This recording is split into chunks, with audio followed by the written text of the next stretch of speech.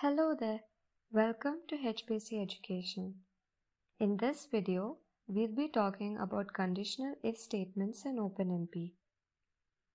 If you're familiar with programming languages like C, C++, Python, Java, etc., you'll already know what if and else statements mean. The syntax for OpenMP conditional if statements is the same as the other programming languages. However, the meaning might differ.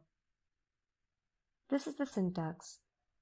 The if statement specifies whether a loop should be executed in parallel or in serial. The expression that is given here, if it evaluates to true that is non-zero, it causes the code in the parallel region to execute in parallel. Else, if the expression evaluates to false, that is a zero value, the parallel region is executed in serial mode by a single thread.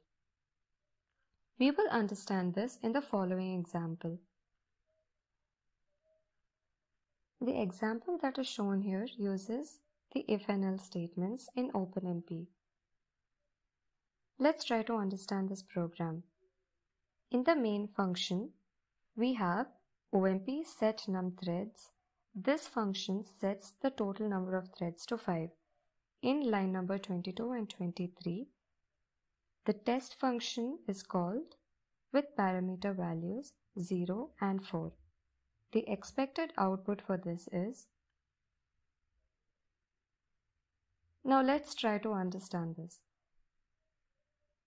When the parameter value is 0, OMP in parallel returns a 0 value because it does not run in a parallel region and hence line number 15 is executed because it calls the else statement.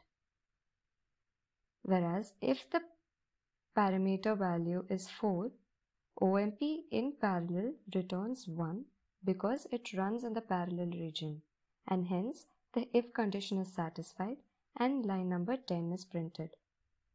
OMP get num threads returns the total number of threads that is currently running because we set the total number of threads to 5, it also returns the to total number of threads to 5 and that is why 5 threads are printed. If applies to the following directives parallel, for and sections. In the example that we saw, we used parallel directive.